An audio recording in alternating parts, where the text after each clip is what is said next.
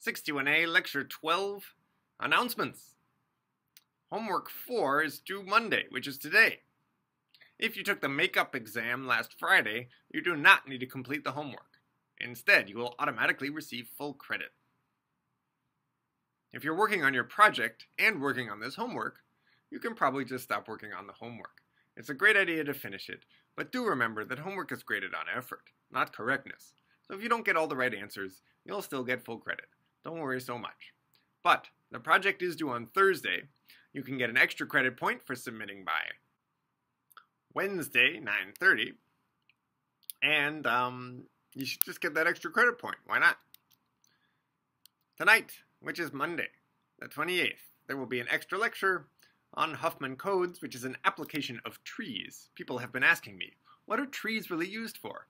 Well, they represent file systems and websites and all kinds of things like that but they can also be used to represent text encoding. I'll tell you how, and my recent research paper was actually using this technique for a machine translation application, so if I have time, I'll tell you about that too. I'll just give you the same talk that I gave in Portugal recently uh, at the conference I attended, EMNLP. So if that sounds interesting, anyone's welcome to come. If you're actually enrolled in CS98 additional topics in the structure and interpretation of computer programs, then you should definitely come. There is a homework assignment related to this particular topic.